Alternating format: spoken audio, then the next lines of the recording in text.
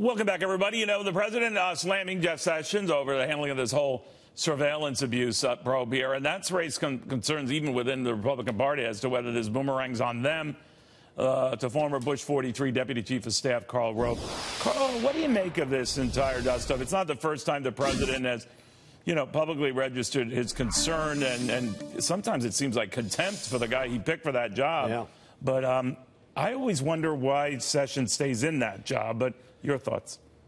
Well, I hope to God he stays in the job. Uh, the, the comment by the president that his behavior was, quote, disgraceful uh, is like a, an attempt to force him out. But can, I hope to God he doesn't leave. Can you imagine what it would be like for the president to have a confirmation hearing over the next three or four or five months as we run up to the 2018 uh, uh, elections? Where the Democrats are grilling his nominee for attorney general as to if the president tells you to investigate somebody, will you do so? I mean, this would be ugly from top to bottom and a real problem.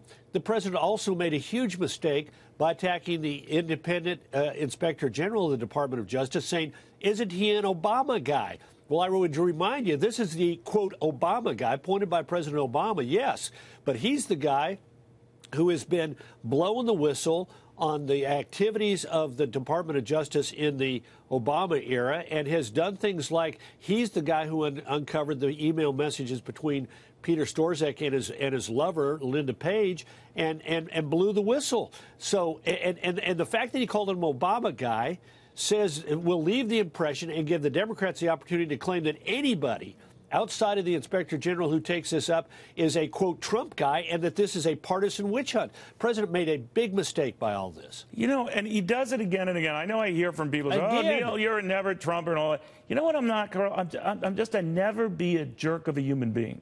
Because I think that kind of behavior gets in the way of a lot of the great ideas I think the president has, tax cuts that, if given time, I think we'll have some measurable benefits to the economy.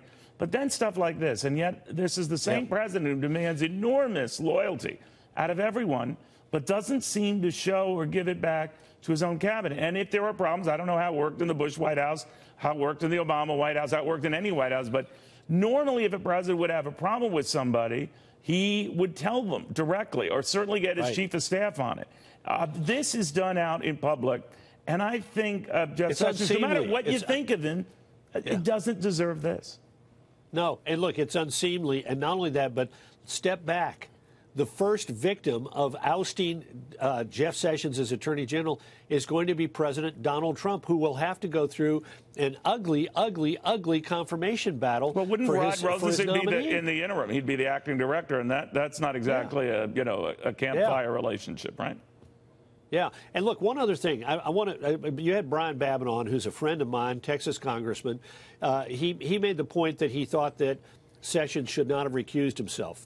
Uh, I, I, Brian's a friend of mine. I don't mean to disagree, but in the 1980s, Congress overwhelmingly, bipartisan majorities, passed a law requiring the Justice Department to spell out the rules for recusal involving things like political activity.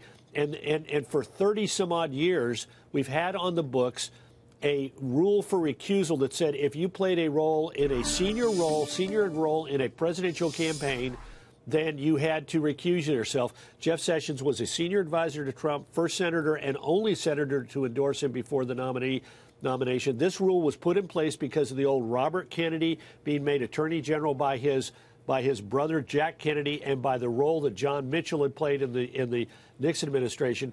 Jeff Sessions, under those rules, had no ability to do anything. No, I agree. He had no choice but to do what he did, and it was the honorable thing right. to do. Whatever people think of that relationship and his connections with all of this, but it's where we are now. And I always think yeah. about the human impact of these kind of things. And if I'm eh, sitting on that cabinet, Karl, or I'm any prominent Republican and he's done this, you know, with Mitch McConnell. He's done it with Speaker Paul Ryan. And that's fine. I know this is style. He's a he's an unprecedented character in the White House. I get that. But I don't get just treating people like crap. I don't get humiliating human beings of any other party. It doesn't matter. Their own party, another party, people they like or don't like. That is not leadership. To me, that is demeaning. Well, it's childish. It makes a mockery of the office. It makes a mockery of the guy in that office. It makes a mockery of his supporters. It makes a mockery of everyone. He is demeaning the office acting that way. Yeah.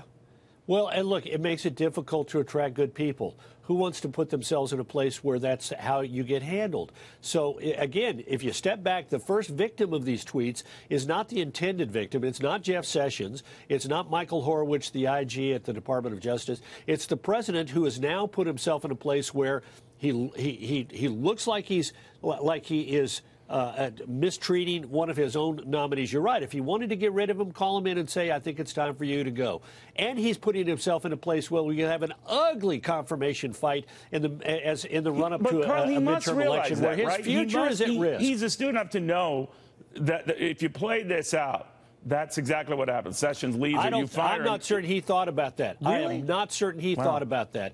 If if he if, if if if he did, if he thought that out, then I then I think he'd say, you know what? If I want Jeff Sessions to go, maybe I'd invite him over and say, Jeff, it's time for you to go, rather than doing this. And and even then, again. If Sessions goes, no matter whether it's because of a tweet or because of a personal conversation with the president, that re, that will generate a confirmation battle between now and the November elections that is not going to be helpful to the president and his administration and to his goals. The more we talk about things like this, the less we're talking about tax cuts and regulatory That's reform exactly and right. energy policy and strong military And the very America issues to that back. point, Karl, the very issues that the president wants to focus on, and he has a lot of good sound issues and a lot of good prescriptions of them. They're lost in his own ranting, raving sauce here. He and he is just showing no regard for that. And I think that it No. will do great peril to him, great peril to his agenda, great peril to people who want to work with him but are increasingly afraid to work with him. And frankly, I can't blame them. Yeah. Look, if you want to be successful as president, you got to step back, be the adult, absorb some of these little blows. And keep focused on the big things. And the big thing is not to attack the inspector general as, quote, an Obama guy. It's to hope that he continues to do what he has done, which is doing his job in a nonpartisan way and letting the chips fall where You're they right. may. Do you think an Obama guy, quote, an Obama guy, would have sat there and said, oh, yeah, I'm going to reflect badly on the guy who was involved in the Hillary Clinton investigation and, and end his career by telling Robert Mueller that Peter Strzok uh, did did inappropriate things and needs to be immediately removed from his position in, in the investigation of Donald Trump. Incredible. That was Michael Horowitz who led to that, and the president has attacked him, his own attorney general, and given the Democrats every opportunity if Sessions resigns.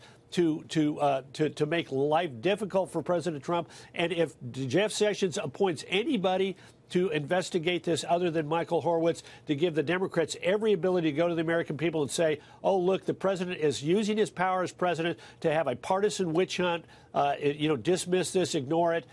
And, and all of it is so distracting from what the president is attempting to do. He's got big things to do. This is, these are little things. Yeah, you know, that old notion, you know, uh, the, the danger of no unspoken thought is sometimes they lead to uh, unspeakable results. Uh, Karl, thank you very much, my friend. You bet. Thank you, Neil.